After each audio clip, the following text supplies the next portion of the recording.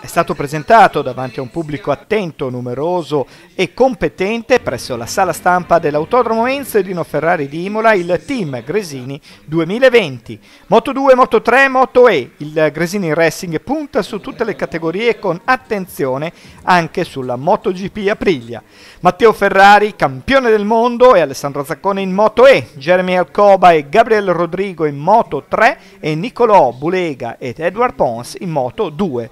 Fausto Gresini non si nasconde presenta un team con i due piloti in ogni categoria con obiettivi ambiziosi.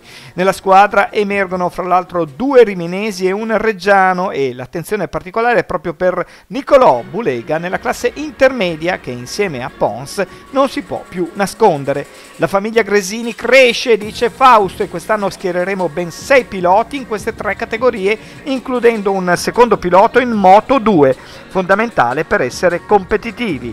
In Moto E siamo campioni e sappiamo che sarà difficile riconfermarsi. A fianco di Matteo Ferrari ci sarà un giovane motivato, Zaccone. In Moto 3 arriviamo da un anno di grandi delusioni e sappiamo di avere un team molto competitivo. E poi, naturalmente, come dicevamo, Gresini non si nasconde sulla Moto 2 con Buleghe Pons. Nuove ambizioni? Beh certo, sempre.